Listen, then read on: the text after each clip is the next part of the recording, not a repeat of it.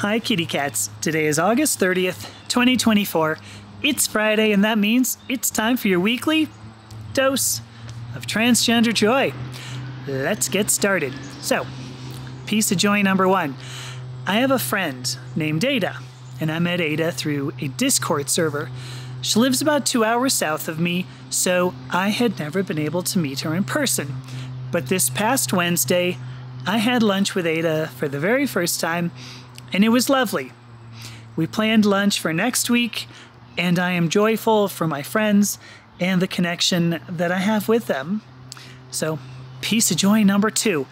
I had three absolutely phenomenal podcast conversations this week. Two of them were just people who wanted to understand the transgender experience better. And then the third was Jenna Tellendrew, which I spoke about yesterday, and I published that podcast today. But I am very joyful about people willing to listen to the transgender experience and understand it is not different from the common human experience of identity and gender. So, piece of joy number three. I seem to turn a corner this week in comfort in my new body. My upstairs is looking very natural, and I've been um, experimenting with my downstairs parts. What seemed unfamiliar is becoming familiar, and my sense of integration across body, mind, and spirit are growing.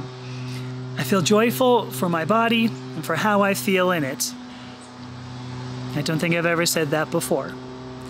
So, that is your weekly dose of transgender joy. I will see you next week. Talk soon. Bye.